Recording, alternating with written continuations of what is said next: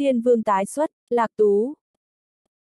chương 461, chị quá phụ. Tô Bửu Điền nói ra mức độ nghiêm trọng của tình hình. Dù sao thì mọi người trên khắp đất nước đang chờ đợi trước TV.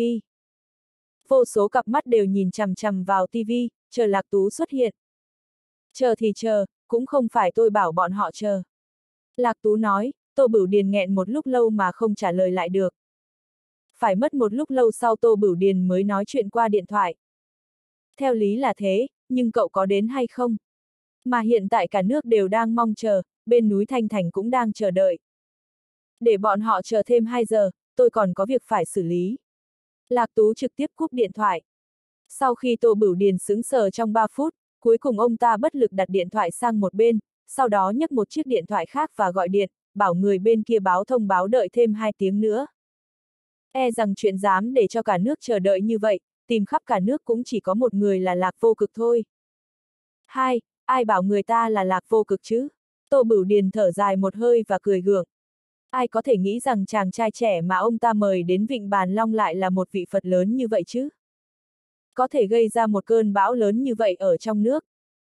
Đương nhiên, Lạc Tú không nhìn thấy nụ cười gượng gạo của Tô Bửu Điền, đã đến giờ ăn trưa, Lạc Tú đi thẳng về phía căn tin. Ở đây cung cấp dịch vụ ăn uống, hơn nữa còn có phong cách đồ ăn của các quốc gia khác nhau, vì vậy đại đa số mọi người sẽ chọn đến canteen ăn cơm. Dù sao ở nước ngoài, được ăn món ăn của nước mình cũng là một loại may mắn. Canteen tuy không sang trọng lắm nhưng cũng khá lớn. Lạc Tú chọn một cửa sổ ẩm thực hoa hạ, gọi món, rồi bưng khay đi tới một chiếc bàn trống. Du sinh viên hoa hạ ở đây cũng không ít, kỳ thật nhìn thoáng qua cũng có thể thấy rõ là đến từ quốc gia nào, đương nhiên cũng có rất nhiều người nguyện ý nếm thử các món ăn của quốc gia khác. Chỉ là chi phí ở đây vẫn còn khá đắt đỏ, Lạc Tú đã mua một phần cơm và rau, giá hơn 50 nhân dân tệ. Chỉ là Lạc Tú vừa mới ngồi xuống, Dư Mộng Đình cũng bưng một cái đĩa đi tới, đường hạo đi theo phía sau. Hai người cũng không để ý Lạc Tú có đồng ý hay không, trực tiếp ngồi cùng chỗ với Lạc Tú. Làm sao vậy, tối hôm qua ngủ có ngon không? Đường hạo cười khẩy, anh ta còn tưởng rằng tối hôm qua Lạc Tú không bắt được xe taxi, bị đông cứng ở sân bay cả đêm. Audio điện tử võ tấn bền. Lạc Tú không thèm để ý đến đường hạo, mà đưa mắt về phía cửa. Bởi vì có rất nhiều thanh niên tuấn tú đi vào, có người còn đeo kính dâm. Hơn nữa, những người trẻ tuổi kia đều ăn mặc sang trọng, nhìn qua thôi cũng biết là loại không giàu cũng quý, hiển nhiên là một đám phú nhị đại. Nhóm người này vây quanh một người phụ nữ và đi thẳng đến căn phòng riêng sang trọng nhất trên lầu của căng tin. Mà đằng sau hơn chục người kia, có rất nhiều sinh viên đi theo, giống như vệ sĩ, xuất hiện đầy phong độ. Chỉ tiếc người ở giữa bị che quá chặt nên không nhìn rõ là ai. Đừng nhìn, đó là hoa khôi của trường chúng ta. Sư Mộng Đình giải thích, trong mắt lại lộ ra một tia ghen tị. Thế nào, anh có muốn nhìn thấy hoa khôi của trường chúng ta không? Đường Hạo hỏi. Nhưng tôi nói cho anh biết, nhìn mấy chục người kia đi, đều là phú nhị đại của Triều Tiên đấy. Người kém nhất thì tài sản gia tộc cũng mấy chục triệu, thậm chí có người có bạc tỷ. Anh cảm thấy anh có tư cách để nhìn không? Đường Hạo cười khẩy. Đường Hạo, Sư Mộng Đình ở bên cạnh thấp giọng nói. Lạc Tú, ăn đi, đừng nhìn nữa, những người đó đúng là phú nhị đại, trong đó còn có người của gia tộc giàu nhất Triều Tiên, những người bình thường như chúng ta không thể so sánh với tài sản của họ đâu. Sư Mộng Đình giải thích nói. Nói mới nhớ, hoa khôi đó còn là người hoa hạ, nhưng đáng tiếc cô ta rất kiêu ngạo, hầu như không bao giờ chào hỏi chúng ta. Sư Mộng Đình rõ ràng rất ghen tị và bất mãn. Người hoa hạ, Lạc Tú nghi ngờ hỏi. Ừm, nhưng cũng hết cách, người ta là hoa khôi của trường nên hoàn toàn không để ý đến chúng ta. Cho dù là bình thường gặp phải, cô ta cũng sẽ coi như không thấy. Ai bảo Sa Tuấn tại, người quyền lực nhất trường chúng ta đang theo đuổi cô ta chứ, cô ta thực sự có quyền kiêu ngạo như vậy. Sư Mộng Đình tiếp tục. Hoa khôi trường này và Dư Mộng Đình đều đến từ Hoa Hạ, nên hẳn rất thân thiết với nhau mới đúng, nhưng người ta là hoa khôi của trường, ngày đầu tiên đến đã ba phú nhị đại đuổi theo xe thể thao để bày tỏ tình yêu, sau đó còn được một người đón đi dự tiệc tối, người ta thật sự đã gây chấn động toàn trường. Được mệnh danh là nữ thần của thầy trò trong trường. Ngay cả Sa Tuấn Tại, người mạnh nhất và có bối cảnh nhất trong trường, cũng bị mê hoặc và kiên trì theo đuổi cô ta. Còn Dư Mộng Đình chỉ là hoa khôi trong lớp thôi, mặc dù có rất nhiều người theo đuổi nhưng vẫn kém xa hoa khôi của trường. Điều này khiến Dư Mộng Đình luôn canh cánh trong lòng. Có lẽ tôi biết, Lạc Tú xoay người nói. Ha ha, anh biết ư. Đường Hạo cười lạnh. Anh đừng tự rát vàng lên mặt mình chứ. Đường Hạo lắc đầu. Giữa anh ta và đối phương thậm chí có một khoảng cách, ngay cả một câu cũng không nói được, thế mà Lạc Tú lại nói anh có quen biết người ta. Lạc Tú, anh đang rát vàng lên mặt đấy. Dư Mộng Đình cũng nói, đồng thời, ấn tượng của cô ta đối với Lạc Tú càng ngày càng kém. Một người đến từ huyện lỵ mà quen biết hoa khôi trường sao. Hơn nữa, nghe nói hoa khôi của trường cũng có gia thế rất hiển hách ở hoa hạ, tài sản trong nhà cũng vô cùng phong phú, Lạc Tú có thể quen biết người ta sao? Về cơ bản, cả hai đến từ hai thế giới đấy.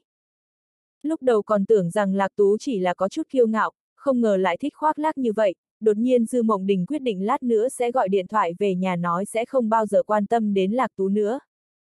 Sau này đừng khoe khoang quá nhiều, nhìn rõ địa vị của mình đi. Đường Hạo cười lạnh nói.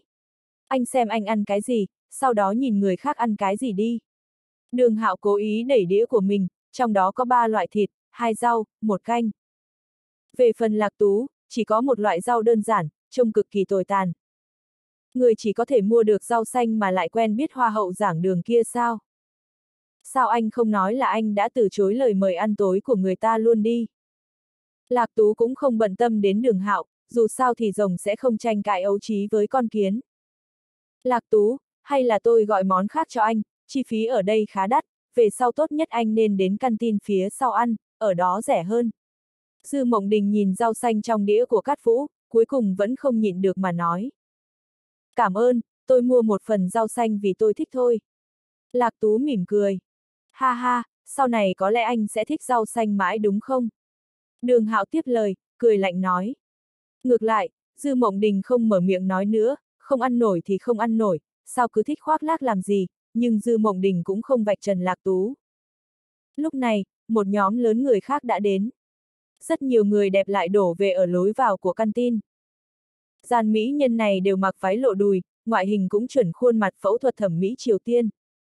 Trông cực kỳ đẹp mắt, theo lý thì ai cũng phải vô cùng phấn khích khi có nhiều mỹ nhân xuất hiện như vậy, nhưng nhóm người này vừa bước vào, rất nhiều người trong căn tin đã nhanh chóng thu dọn đĩa của mình rời khỏi chỗ ngồi như thể nhìn thấy ma.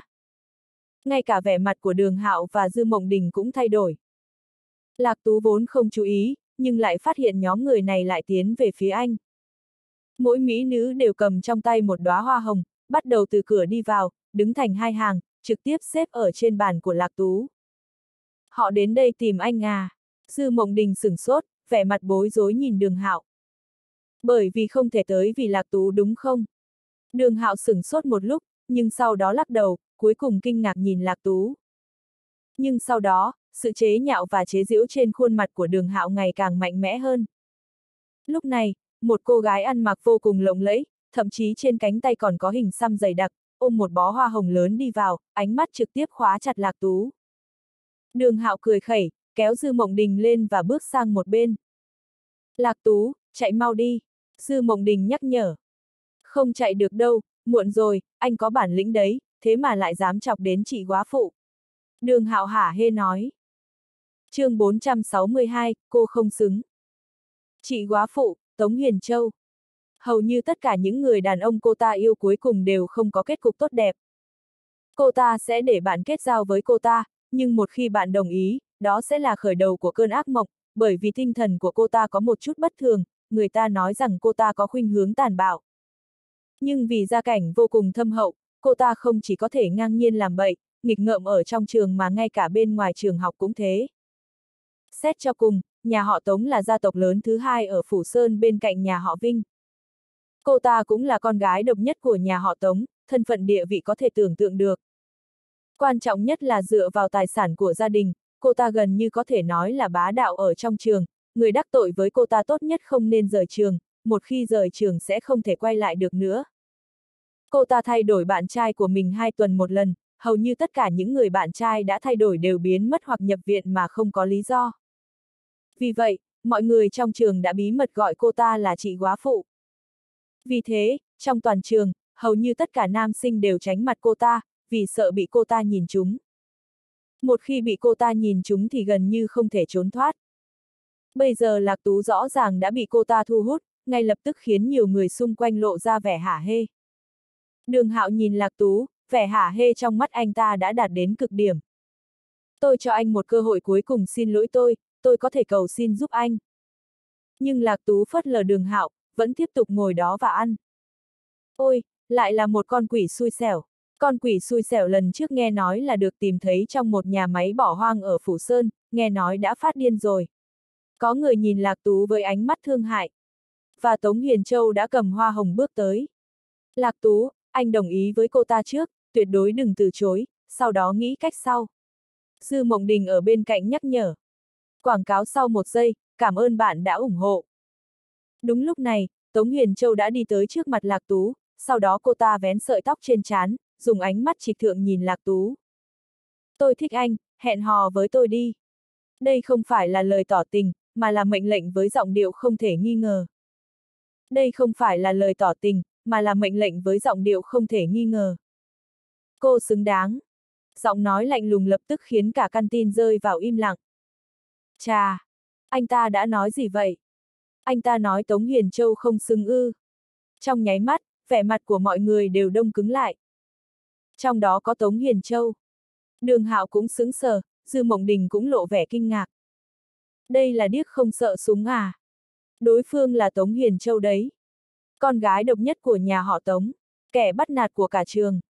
Dư Mộng Đình dùng vẻ mặt phức tạp nhìn Lạc Tú, vừa rồi cô ta đã nhắc nhở Lạc Tú, Lạc Tú nên đồng ý trước, thế mà bây giờ Lạc Tú lại dám nói như vậy. Đường Hạo, dù sao anh ta cũng đến từ Hoa Hạ, anh. Đã muộn rồi, sự tình đã trở nên nghiêm trọng, anh ta nói như vậy thì anh cũng không cứu được. Đường Hạo lắc đầu. Dù sao thì Tống Hiền Châu cũng là con gái của nhà họ Tống, xuất thân của cô ta quá lớn nên người thường không thể đắc tội được. Những lời của Lạc Tú chẳng khác nào làm nhục Tống Hiền Châu, người ta có thể giết anh ta chỉ bằng một ngón tay đấy. Anh vừa mới nói tôi không xứng sao. Tống Hiền Châu sực tỉnh, ném hoa hồng trong tay xuống đất. Mười mấy người đàn ông lực lưỡng từ phía sau sông tới, những người này đều là sinh viên, hơn nữa còn là vệ sĩ của Tống Hiền Châu. Với năng lực của nhà họ Tống, việc bố trí hơn chục sinh viên làm vệ sĩ trong trường là quá dư giả. Một người chỉ có thể ăn rau xanh, tôi đã chủ động đề nghị hẹn hò với anh, thế mà anh lại nói tôi không xứng sao. Tống Hiền Châu thực sự bị Lạc Tú chọc tức. Quảng cáo sau một giây, cảm ơn bạn đã ủng hộ. Cô ta là con gái nhà họ Tống, một món đồ trang sức có thể giá mấy vạn đô la, bây giờ cô ta lại tỏ tình với một người đàn ông ăn rau xanh, đối phương lại nói cô ta không xứng. Anh biết tôi là ai không? Tống Hiền Châu cười lạnh một tiếng. Tôi không biết, cũng không có hứng thú biết, nhưng cô đang quấy rầy bữa ăn của tôi, cho cô một cơ hội lăn ra ngoài. Lạc Tú lạnh lùng nói. Nếu không phải bởi vì không thể vạch trần quá sớm, ảnh hưởng đến kế hoạch cứu người của anh, vừa nói câu đầu tiên là Lạc Tú đã động thủ rồi. Được rồi, sinh viên mới thật sự là điên rồi. Còn không thèm nhìn lại bản thân xem, tôi đề nghị hẹn hò với anh, nhưng anh lại nói tôi không xứng. Tuy rằng tính tình Tống Hiền Châu có vấn đề, nhưng dù sao cô ta cũng là một tiểu thư nhà giàu. Khi hẹn hò với mọi người, mặc dù nhiều người sợ hãi cô ta, nhưng vẫn có nhiều người thực sự không quan tâm đến điều này. Thậm chí còn chủ động tỏ tình với cô ta. Đúng là không biết điều, anh có tư cách gì nói tôi không xứng. Anh cho là anh giỏi lắm sao? Có người thích anh sao? Tống Hiền Châu đắc ý nói. Anh ấy nói đúng, cô thật sự không xứng. Đột nhiên trên lầu truyền đến một giọng nói lạnh lùng. Sau đó là tiếng bước chân rồn rập, một cô gái mặc váy trắng lộ ra một đôi chân thon thả, chạy nhanh xuống cầu thang. Cô gái không chỉ có vóc dáng nổi bật, thon gọn mà gương mặt còn hoàn hảo đến mức cực điểm, hoàn toàn là tự nhiên. Cô gái này vừa xuất hiện đã lập tức thu hút sự chú ý của toàn bộ căn tin, khí chất nổi bật, trông rất chứng chạc, khắp người đều có một sức hút khó tả, thần thái dạng dỡ. Nhưng khuôn mặt vốn hoàn mỹ đó giờ lại mang theo một tia kiêu ngạo và tức giận. Anh ấy nói không xứng, cô không phục sao. Chu Tiểu Ly hùng hổ đi tới, trực tiếp đi tới trước mặt Tống Hiền Châu, vốn dĩ Chu Tiểu Ly đã cao, nhưng bây giờ cô ta lại đứng sừng sững, khiến cô ta trông càng thêm trịch thượng. Lúc này, tất cả mọi người đều sững sờ, đặc biệt là Đường Hạo và Dư Mộng Đình. Làm thế nào Chu Tiểu Ly, hoa khôi của trường, có thể đứng ra bảo vệ Lạc Tú? Chu Tiểu Ly, cô có ý gì? Tống Huyền Châu cũng không thua kém, nhưng khí thế của cô ta đã yếu đi rất nhiều. Quảng cáo sau một giây, cảm ơn bạn đã ủng hộ. Cô ta là con gái nhà họ Tống, nhưng dù sao đây cũng là trường học, trong trường học, cô ta không thể đánh bại Chu Tiểu Ly. Bởi vì người ta được Sa Tuấn tại quyền lực nhất trường chống lưng, anh ta là một dị nhân. Cô không hiểu tôi nói gì à? Chu Tiểu Ly nói. Anh ấy nói cô không xứng thì chính là không xứng, cho dù anh ấy không nói, cô cũng không xứng, cô cho rằng cô là ai hả? Nói trắng ra là, ngay cả tư cách sách giày cho anh ấy cô cũng không có đâu. Lời nói của Chu Tiểu Ly như một con dao sắc. Dù sao cô ta cũng từng là chị cả ở Úc Kim Hương, nhìn thấy cảnh tượng như vậy cũng nhiều rồi, nhưng từ khi đến đây, cô ta luôn thể hiện mình là một quý cô thục nữ, lâu lắm rồi cũng chưa mất bình tĩnh. Nhưng mọi người xung quanh đều sửng sốt, dù sao thì hoa khôi Chu Tiểu Ly vẫn luôn dịu dàng ôn nhu, từ khi nào cô ta lại có một mặt như vậy. Đừng nói đến chuyện chửi thề, thậm chí còn nói to, và chỉ vì sinh viên mới đó mà thành ra thế này. Chu Tiểu Ly, tôi là con gái của nhà họ Tống, gia tộc của tôi trị giá hàng tỷ đô la, tôi không xứng sao. Gia cảnh của nhà cô, nói thật, ở trước mặt anh ấy, cũng chỉ là một trò cười thôi, còn thua cả ăn mày. Còn nữa, cô nói có ai thích anh ấy hả? Tôi thích anh ấy, bất luận ai thích anh ấy, tùy kiện kéo ra một người thì cô cũng không so được đâu. Cút ngay, Chu Tiểu Ly trực tiếp mắng mỏ, hoàn toàn không quan tâm đến hình tượng nữ thần của mình. Những lời này đã làm chấn động toàn bộ căng tin ngay lập tức. Bao nhiêu người từng mơ ước có được nữ thần, bao nhiêu người từng theo đuổi hoa khôi của trường, bây giờ cô ta lại trắng trợn nói thích lạc tú. Được, cô chờ đó. Các người nên cảm thấy may mắn vì đây là trường học. Tống Hiền Châu để lại những lời cay nghiệt, vì cô ta biết mình không thể đánh bại Chu Tiểu Ly ở trong trường. Cô mới nên cảm thấy may mắn vì đây là trường học đấy. Chu Tiểu Ly nói, quả thật Tống Hiền Châu nên cảm thấy may mắn về điều này, nếu không thì kết cục có thể đã có chút bi thảm. Thậm chí cả nhà họ Tống sẽ gặp rắc rối lớn vì chuyện hôm nay. Chu Tiểu Ly biết chính xác người đàn ông đang ngồi ở đây là ai, thủ đoạn và sức mạnh của anh đáng sợ đến mức nào. Nhưng đường hạo, Dư Mộng Đình và thậm chí cả căn tin vẫn còn sửng sốt, Lạc Tú và Hoa hậu giảng đường. Sao có thể như thế được? chương 463, Hoa Khôi giảng đường mời khách. Chu Tiểu Ly là hoa khôi của trường, nổi tiếng khắp trường đại học với tính cách xa cách và kiêu ngạo nhưng lại vô cùng trưởng thành. Ngay cả Sa Tuấn Tại, sinh viên lợi hại nhất trường, cũng bị cô ta mê hoặc, xung quanh cô ta có vô số phú nhị đại theo đuổi. Bởi vì vẻ ngoài của Chu Tiểu Ly trong sáng và tự nhiên, khí chất của cô ta thực sự giống như một bông sen tuyết lạnh lùng và kiêu ngạo, cô ta luôn nói năng thận trọng, bộ dạng cự tuyệt người ta cách xa ngàn dặm. Nhưng vào lúc này, sau khi nhìn thấy Lạc Tú, bông hoa của trường này đã nói rằng tôi thích anh ấy. Mọi người xung quanh đều sững sờ, đường hạo và dư mộng đình suýt chút nữa đã rất quai hàm. Họ không thể hiểu tại sao Lạc Tú lại quen biết Chu Tiểu Ly. Bởi vì ngay cả bọn họ, trong mắt Chu Tiểu Ly, dường như cũng không có tư cách đến quá gần Chu Tiểu Ly. Thế mà sinh viên mới đến từ huyện lỵ này lại có thể được nữ thần yêu ái như vậy. Tiểu Ly, lời cô vừa nói chỉ là muốn giúp anh ta thôi phải không? Đường Hạo ở một bên hỏi. Anh ta hoàn toàn không tin Chu Tiểu Ly một hoa khôi của trường lại thích Lạc Tú. Nhưng Chu Tiểu Ly thậm chí không thèm chú ý đến anh ta. Càng ngày càng đẹp, Lạc Tú mỉm cười chào hỏi. Mà Chu Tiểu Ly lại ngượng ngùng cúi đầu, sau đó cười cười, nhưng lại nhân cơ hội ngồi xuống bên cạnh Lạc Tú, nắm lấy cánh tay của Lạc Tú. Động thái này ngay lập tức khiến cả căn tin nổ tung. Mỹ nhân băng sơn lại chủ động nhào vào lòng Lạc Tú, nếu như ánh mắt có thể giết người, như vậy thân thể của Lạc Tú lúc này đã bị xé thành từng mảnh nhỏ rồi. Thầy Lạc, sao thầy lại ở đây? Chu Tiểu Ly mỉm cười ngọt ngào với Lạc Tú. Giờ khắc này, rất nhiều người giống như nghe được âm thanh tan nát cõi lòng của mình, nữ thần băng sơn nghiêm túc, đừng nói là cười với người nào đó ngọt ngào như vậy, ngày thường cô ta còn chẳng thèm cười. Nhưng giờ phút này, cô ta lại giống như nhìn thấy người đàn ông mà mình yêu say đắm, gần như si mê. Làm chút chuyện, Lạc Tú nhẹ giọng nói, không để ý đến mấy ánh mắt sắp phun ra lửa kia. Giáo sư An à, Chu Tiểu Ly cực kỳ thông minh, cô ya đoán ra ngay. Ừ, Lạc Tú cười cười. Thầy Lạc, chúng ta lên lầu ăn cơm đi. Chu Tiểu Ly lại nở nụ cười từ tận đáy lòng. Cô ta thực sự hạnh phúc khi có thể gặp được người đàn ông mà mình ngưỡng mộ, kính trọng ở một đất nước xa lạ này. Không, tôi ăn gần xong rồi. Lạc Tú chỉ vào đĩa của mình. Những lời này vừa nói ra, ánh mắt của rất nhiều người xung quanh thực sự phun ra lửa. Đừng nói là Chu Tiểu Ly chủ động mời ăn, cho dù muốn mời Chu Tiểu Ly ăn cơm cũng là chuyện khó hơn lên trời. Bây giờ nữ thần chủ động mời Lạc Tú đi ăn, thế mà mà Lạc Tú thực sự từ chối. Nhưng ngay sau đó, một chuyện khiến mọi người há hốc mồm lại xảy ra. Đi đi mà. Thầy Lạc, vất vả lắm mới được mời thầy một bữa, thầy đừng từ chối em chứ. Giọng nói của Chu Tiểu Ly lập tức biến thành một giọng điệu làm nũng. Lúc này, cả căn tin sôi trào. Có ai đã từng thấy một người phụ nữ như tảng băng trôi như Chu Tiểu Ly làm nũng chưa? Nếu ngày hôm qua có người nói như vậy, sợ là sẽ bị đánh chết, không thể nào, không ai có thể nghĩ rằng Chu Tiểu Ly lại làm nũng. Nhưng bây giờ, cô ta không chỉ làm nũng mà còn làm ra bộ dạng rất đáng yêu chỉ vì lạc tú.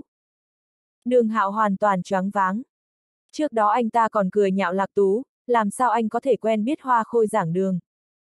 Nhưng bây giờ họ không chỉ biết nhau, mà còn trông rất quen thuộc, không chỉ quen thuộc, Chu Tiểu Ly còn rất thích Lạc Tú. Trước đó anh ta cũng đã chế nhạo Lạc Tú là sao anh không nói anh đã từ chối lời mời của Hoa Khôi luôn đi. Bây giờ, Hoa Khôi của trường đang thực sự mời Lạc Tú đi ăn. Sắc mặt Sư Mộng Đình cũng rất khó coi, trước đó cô ta luôn cảm thấy Lạc Tú một mình tới Phủ Sơn, không quen không biết ai, nếu không có sự giúp đỡ của họ thì Lạc Tú sẽ không thể ở lại đây. Vì vậy, anh chỉ có thể trông cậy vào họ. Nhưng bây giờ thì sao? Ai nói người ta không quen không biết ai? Người ta không chỉ có người quen, mà còn là hoa khôi của trường. Hơn nữa, với tư cách là một người phụ nữ, Dư Mộng Đình đương nhiên có thể cảm thấy rằng khi Chu Tiểu Ly nói thích Lạc Tú, chắc chắn không chỉ nói xuông, mà cô ta thực sự thích anh. Đúng lúc này, điện thoại của Lạc Tú vang lên, Lạc Tú vừa vặn rảnh tay bắt máy. Chu Tiểu Ly thấy vậy, cô ta lập tức lo lắng, cô ta không thể để Lạc Tú nghe điện thoại, nếu không sẽ không đi ăn với anh được, vì vậy cô ta vội vàng nói lại. Thầy Lạc, đồng ý đi ăn với em đi, được không? Chu Tiểu Ly lắc cánh tay của Lạc Tú không ngừng. Vậy được rồi, dù sao tôi cũng không có việc gì gấp. Lạc Tú bất đắc dĩ cúp điện thoại. Ở đầu bên kia, điện thoại của Tô Bửu Điền lập tức rơi xuống đất. Toàn bộ biểu cảm trên khuôn mặt thật tuyệt vời. Không có việc gì gấp, Người dân cả nước đang chờ xem cậu quyết chiến với người khác, thế mà cậu lại nói không có việc gì gấp. Nghe nói còn có một cao thủ thiên tài ở núi Thanh Thành chờ cậu khiêu chiến, cậu lại nói không có việc gì gấp. Nhưng ở đây, Chu Tiểu Ly đã kéo cánh tay của Lạc Tú đứng dậy, không thèm nhìn đường hạo và những người khác, cô ta ôm cánh tay của Lạc Tú đi về phía tầng 2. Cho đến nay, nhiều người vẫn chưa thể chấp nhận sự việc này, thậm chí còn chưa có phản ứng gì. Dư Mộng Đình tiếc nuối nhìn Lạc Tú, nhưng rồi lại nhìn đường hạo với ánh mắt kiên định. Lạc Tú và Chu Tiểu Ly biết nhau thì sao? Chu Tiểu Ly thích Lạc Tú thì sao? Đây là Triều Tiên, đường hạo có bối cảnh ở đây, đường hạo cũng như những người khác đều có gia cảnh tốt hơn Lạc Tú. Ở đây, Lạc Tú vẫn không tốt bằng đường hạo. Ngay cả khi Chu Tiểu Ly thích anh ta, anh ta cũng không xứng với Chu Tiểu Ly. Sư Mộng Đình lại lắc đầu. Lạc Tú xứng với một người cấp thảm họa như Chu Tiểu Ly ư. Bọn họ hoàn toàn không cùng một thế giới, với xuất thân của Lạc Tú, ngay cả đường hạo cũng không so được, làm sao có thể so với Phú Nhị Đại ở Phủ Sơn và đám người Sa Tuấn Tại chứ? Hừ, để anh ta tự đắc trước đi, để tôi xem nếu Sa Tuấn Tại biết chuyện này, họ Lạc kia có thể bình an vô sự ra khỏi trường học hay không? Đường hạo cười lạnh. Mặc dù ban đầu anh ta hơi bối rối, nhưng anh ta nhanh chóng lấy lại tinh thần. Dù sao đây cũng là Phủ Sơn, anh ta có quan hệ rất tốt với Liên minh Phi xa, anh ta vẫn không tin mình không đối phó được Lạc Tú. Chỉ cần anh ta nói một tiếng, Lạc Tú rời khỏi trường học sẽ gặp phải đại họa không thể tưởng tượng nổi. Mộng Đình, ngày mai em lừa anh ta đến câu lạc bộ Taekwondo đi. Đường Hạo cười lạnh, anh ta muốn ngày mai Lạc Tú phải đẹp mặt. Ở trên lầu, Chu Tiểu Ly cố ý chọn một gian phòng riêng, sau đó gọi mấy chục món ăn đặc sắc, cẩn thận gọi một bình trà, còn đặc biệt dặn đối phương mang trà và nước đến. Khi trà và nước được bưng lên, Chu Tiểu Ly tự mình pha trà cho Lạc Tú, bởi vì cô ta biết rằng đây là thứ mà Lạc Tú thích. Thầy Lạc, nếu thầy đã đến đây thì An Linh như có thể yên tâm rồi. Chu Tiểu Ly mỉm cười trong khi pha trà. Dù sao cô ta biết rất rõ rằng chỉ cần Lạc Tú đến, giáo sư An sẽ được giải cứu và trở về Hoa Hạ an toàn. Hai người vừa trò chuyện vừa ăn, bữa ăn kéo dài cả buổi chiều, đến gần 7 giờ mới kết thúc. Lạc Tú vừa ăn xong, điện thoại lại vang lên. Lạc Tú nhìn thì thấy đó là cuộc gọi của Vinh Tại Húc. Anh Lạch, anh có rảnh không? Mời anh dùng bữa, Vinh Tại Húc muốn mượn hơi Lạc Tú mà kéo cả con gái của nhà họ Vinh vào. Đang chờ. Được, vậy tôi sẽ phái người đến cổng trường đón anh. Điện thoại vừa mới cúp thì một cuộc gọi khác lại đến. Không cần phải nói, đó vẫn là Tô Bửu Điền. Cậu Lạc, chuyện núi Thanh Thành, cậu tính giải quyết như thế nào? Cậu đừng nói với tôi cậu phải đi ăn cơm nhé. chương 464, gây ra chuyện lớn. Sao ông biết tôi muốn đi ăn? Lạc Tú cười nói. Cậu Lạc, người dân cả nước đều chờ trước TV gần 10 tiếng rồi, hiện tại dư luận trên mạng cũng đã sôi trào rồi. Tô Bửu Điền nghiêm túc nói. Yêu thì có thể chờ đợi, để người trên núi Thanh Thành tiếp tục chờ đợi đi. Lạc Tú cúp điện thoại. Ở phía bên núi Thanh Thành, Thanh Mang và những người khác đã mất kiên nhẫn. Nhưng lão đạo sĩ vẫn cố chấp. Không cố chấp thì có thể làm gì được chứ? Bởi vì chính ông ta đã thông báo cho các phương tiện truyền thông và đài truyền hình lớn đến phát trực tiếp. Chuyện này nhất định phải có một lời giải thích. Phải đợi. Dù sao họ cũng là người khởi xướng, và họ còn đảm bảo rằng Lạc Vô Cực nhất định sẽ đến. Nếu Lạc Tú không tới, không chỉ có Lạc Tú bẽ mặt, mà núi Thanh Thành cũng sẽ bẽ mặt. Hơn nữa mục đích của bọn họ là sau khi giết chết Lạc Tú thì họ sẽ trở nên nổi tiếng khắp thiên hạ, cho nên bọn họ nhất định phải chờ đợi mục đích này.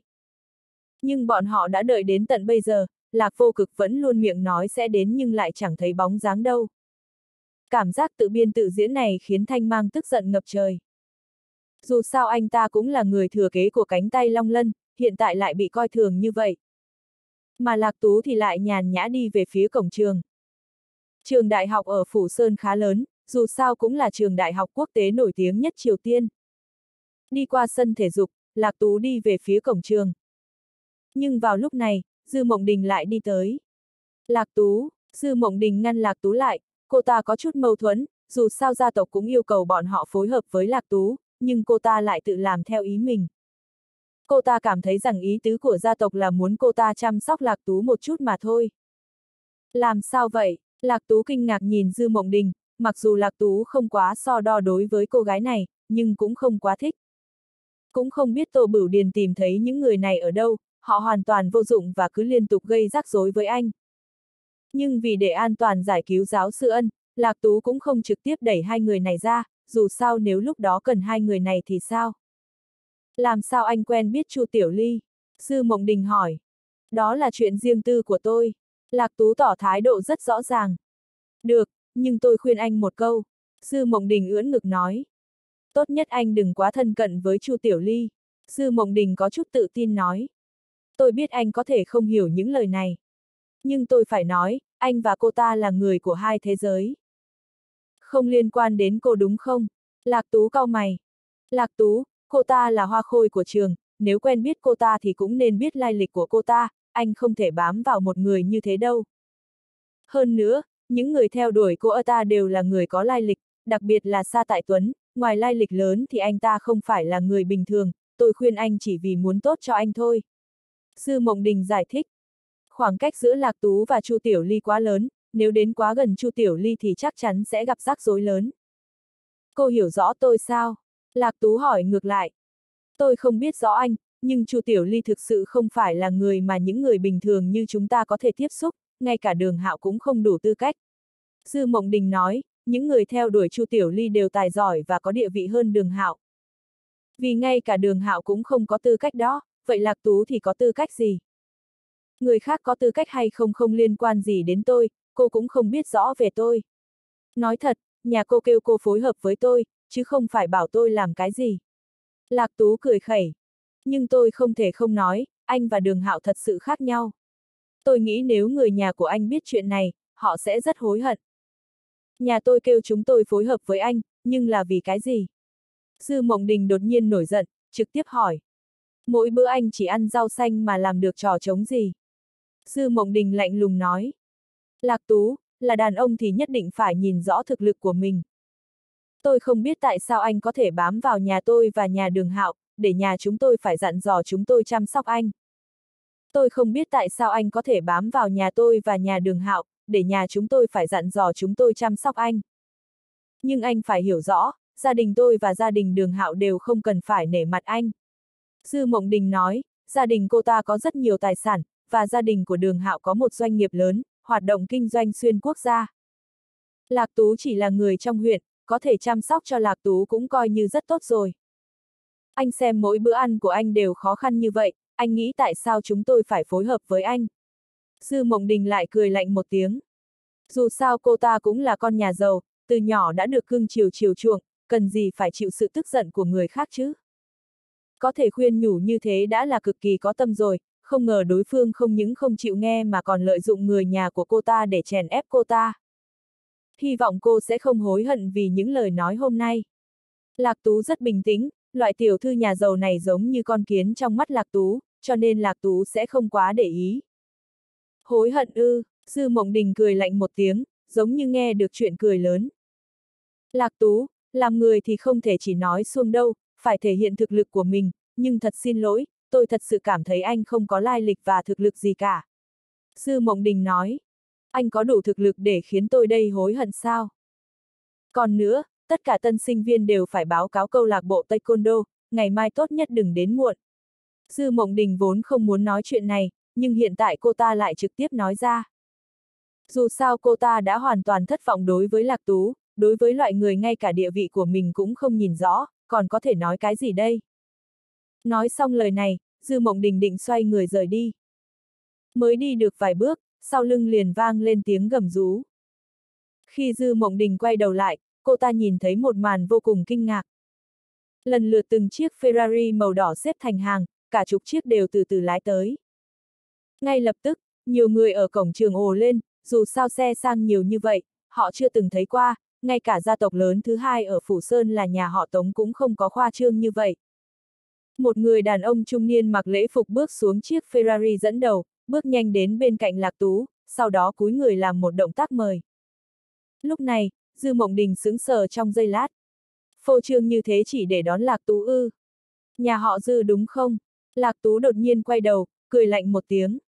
Nhóc con, cô có thể gọi điện thoại cho các trưởng bối của mình, hỏi bọn họ có dám nói chuyện như vậy ở trước mặt tôi hay không? Lạc Tú nói xong liền đi theo quản gia vào trong xe. Vù, vù, tiếng động cơ gầm rú vang lên, trong nháy mắt mười mấy chiếc Ferrari đã bay đi. Lúc này, Dư Mộng Đình lập tức cảm thấy hối hận, bởi vì ngay cả Sa Tại Tuấn cũng không có loại khoa trương này. Đột nhiên, Dư Mộng Đình vội vàng lấy điện thoại di động ra gọi cho gia đình, cô ta cảm thấy mình đã gây ra chuyện lớn. chương 465, bữa tiệc tối nhà họ Vinh.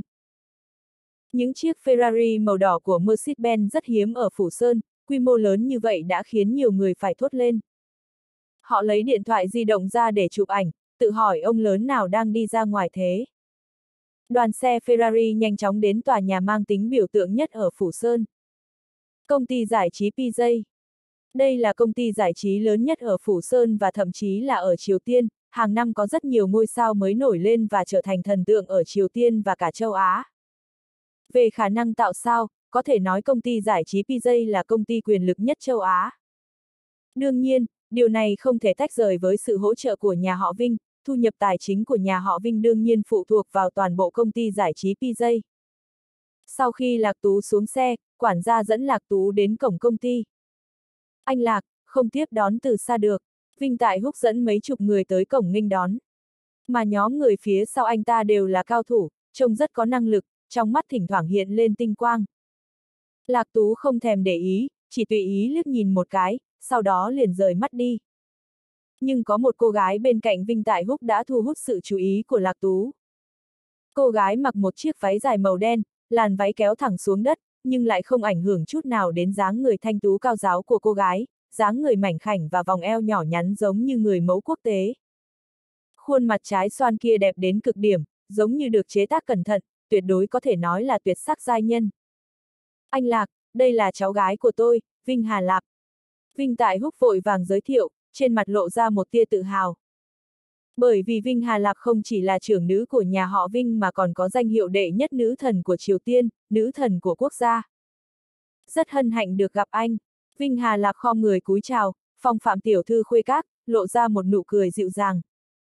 Lạc Tú khẽ gật đầu như một lời chào. Xin mời, Vinh Tại Húc làm một động tác mời. Anh Lạc, những căn phòng của chúng tôi khá độc lạ, cho nên chúng tôi chiêu đãi anh Lạc ở đây, mong anh đừng để ý. Vinh Tại Húc vừa đi vừa giải thích. Đi qua vài hành lang, quả nhiên có một căn phòng trước mặt, giống như căn phòng kiểu lâu đài. Trang trí của sảnh rất tráng lệ và trông rất xa xỉ. Hơn nữa ở cửa còn có một người phụ nữ xinh đẹp đang đợi. Cô gái mặc một chiếc áo ba lỗ nhỏ, để lộ một mảng lớn làn da trắng nõn, dưới thân hình lồi lõm là một chiếc quần thể thao màu hồng trông rất tỏa nắng và tràn đầy sức sống. Chỉ là lúc này trông cô ta như đang đổ mồ hôi. Tất nhiên, khuôn mặt đó cũng vô cùng xinh đẹp. Anh Lạc, xin chào, tôi tên là Kim Tố Nghiên, có chút thất lễ do tôi vừa mới luyện vũ đạo xong. Cô gái thở hồng hộc nói, lồng ngực hơi phập phồng. Tiểu Nghiên là một nữ diễn viên nổi tiếng ở Triều Tiên, và cô ấy được coi là ngôi sao mới nổi tiếng nhất ở trong nước. Vinh Tại Húc lại ở bên cạnh giới thiệu. Trên thực tế, Vinh Tại Húc vẫn còn hơi khiêm tốn, mức độ nổi tiếng của Kim Tố Nghiên ở Triều Tiên thậm chí còn kinh khủng hơn, cũng là một nữ thần như Vinh Hà Lạp. Lạc Tú nhìn tư thế này, không cần phải nói, ý muốn dùng mỹ nhân kế của Vinh Tại Húc rất rõ ràng. Tuy nhiên, Lạc Tú không có ý kiến gì về hai cô gái này, ở tiên giới, Lạc Tú đã nhìn thấy quá nhiều phụ nữ hấp dẫn hơn hai cô gái này rồi. Hơn nữa, Lạc Tú cũng đã trải qua loại cám dỗ sắc đẹp này, ngay cả trong trận chiến đổ thiên, vẻ đẹp của mỹ nữ ma sát kia khi độ thiên kiếp, ngay cả một chân tiên cũng không cưỡng lại được, nhưng trái tim của Lạc Tú chưa bao giờ dao động. Một trái một phải, hai mỹ nữ ở bên cạnh Lạc Tú, trong nháy mắt Lạc Tú trở thành tiêu điểm của cả bữa tiệc. Vô số ánh mắt xung quanh đều đổ dồn về phía Lạc Tú. Dù sao thì hai nữ thần quốc gia của Triều Tiên đang đi cùng Lạc Tú, điều này đã giải thích mọi thứ. Toàn bộ hội trường đều là một số người nổi tiếng và tầng lớp thượng lưu của Triều Tiên. Ngay cả bá chủ một phương của Triều Tiên cũng có. Nhưng vào lúc này, những người này đều cung kính nhìn Lạc Tú. Hai người đẹp Vinh Hà Lạp và Kim Tố Nghiên đã chủ động ngồi ở bên trái và bên phải của Lạc Tú, cố tình dựa sát vào cơ thể của Lạc Tú. Vinh Tại Húc còn thức thời đi uống rượu với người khác. Rõ ràng là anh ta không muốn làm phiền cuộc trò chuyện của ba người trẻ tuổi.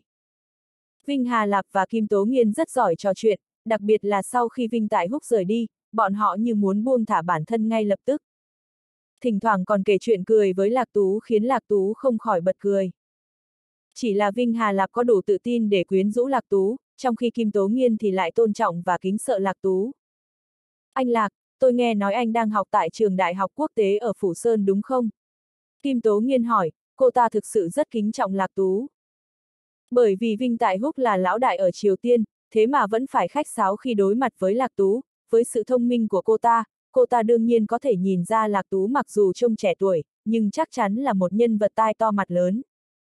Lạc Tú cũng không giấu giếm gì, anh gật đầu. Vừa hay ngày mai chúng ta có thể có cơ hội gặp nhau. Trường đại học đó là trường cũ của tôi, vừa vặn ngày mai là buổi tiệc định hướng cho sinh viên năm nhất, trước đó họ có mời tôi đến nhưng tôi đã từ chối. Nhưng nếu anh ở đó, thì ngày mai tôi nhất định sẽ đi. Kim Tố Nghiên cười nói. Được, Lạc Tú cũng không làm bộ làm tịch, cười nói với Kim Tố Nghiên. Vinh Hà Lạp ở một bên cũng tham gia, bữa tiệc biến thành cảnh tượng hai người đẹp cười đùa với Lạc Tú cả tiếng đồng hồ. Và cuối cùng, Vinh Tại Húc thậm chí còn dẫn cả nhóm nhạc nữ hàng đầu từ công ty giải trí PJ và hơn chục ngôi sao thần tượng lớn nhỏ để biểu diễn cho Lạc Tú xem. Thông thường những người này khi ra ngoài hầu như luôn được chào đón, vé khó kiếm, thậm chí có người còn đạt đến trình độ thần tượng châu Á, nhưng bây giờ những người được gọi là thần tượng, được gọi là ngôi sao lớn đó đều tụ tập đông đủ cùng nhau biểu diễn cho Lạc Tú xem. Có thể nói, nhân vật chính của bữa tiệc hôm nay là Lạc Tú. Cuối cùng, Kim Tố Nghiên đã đích thân lên sân khấu, vừa nhảy vừa hát. Lạc Tú nhẹ nhàng lắc đầu, ở thế giới phàm tục, cuối cùng vẫn là dùng thực lực để nói chuyện. Khi bạn có sức mạnh thì sắc đẹp, quyền lực, tiền tài và cả thế giới sẽ quy phục dưới chân bạn và tùy ý để bạn sử dụng. Sau bữa tối, Vinh Tại Húc sắp xếp để Kim Tố Nghiên đích thân lái xe đưa Lạc Tú về khách sạn. Hà Lạp, thế nào? Vinh Tại Húc chắp tay sau lưng nhìn Vinh Hà Lạp. Chú, yên tâm đi, chuyện này quá dễ dàng, cháu là nữ thần quốc gia, chẳng lẽ không hạ gục được anh ta sao? Vinh Hà Lạp rất tự tin. Chỉ là, chú, tại sao chú lại để cháu bám lấy anh ta? Vinh Hà Lạp có chút khó hiểu, bởi vì cô ta không cảm thấy Lạc Tú có điểm gì đặc biệt, hơn nữa anh còn kém xa một số bạn bè mà cô ta biết. Chú cũng không tiện tiết lộ quá nhiều, chỉ có thể nói cho cháu biết, lần này sự tồn vong của nhà họ Vinh đều phải trông cậy vào anh ta. Vinh Tại húc thở dài. Chú, cha cháu đã phái người đi tìm người trợ giúp, bạn cháu quen còn tốt hơn anh ta nhiều. Hà Lạp, mấy lời này chú chỉ muốn nghe một lần này thôi, chú có thể nói cho cháu biết, nếu như cháu có thể tới gần anh ta, về sau tiền đồ và địa vị của cháu sẽ vô hạn. Vinh Tại Húc cũng không tiết lộ thân phận và thực lực của Lạc Tú. Dù sao có một số chuyện nhà họ Vinh cần phải giữ bí mật. Được, chú yên tâm. Vinh Hà Lạp đồng ý, vỗ ngực cam đoan. Khi Lạc Tú trở lại khách sạn, trời đã về khuya. Lạc Tú nhìn điện thoại thì thấy Tô Bửu Điền đã gọi hơn chục lần. Trước khi Lạc Tú gọi lại, Tô Bửu Điền đã gọi đến, cậu Lạc, ôi, cậu, ôi, Tô Bửu Điền thở dài. Làm sao vậy? Lạc Tú nghi hoặc. Cậu Lạc, đã nửa đêm rồi, cậu để cho cả nước đợi từ sáng sớm đến nửa đêm đấy. Tô Bửu Điền đã kiệt sức vì bị tra tấn cả ngày, ông ta thà chỉ huy một trận chiến còn hơn giải quyết những việc liên quan đến Lạc Tú, thật sự quá mệt mỏi. Người dân cả nước đang chờ đợi anh, nhưng anh không sao, ra ngoài ăn ngon uống cay, không thèm đến xỉa gì cả. Được, chuyện này cũng nên kết thúc rồi. Khóe miệng Lạc Tú thoáng qua một tia cười khẩy. Hết tập 38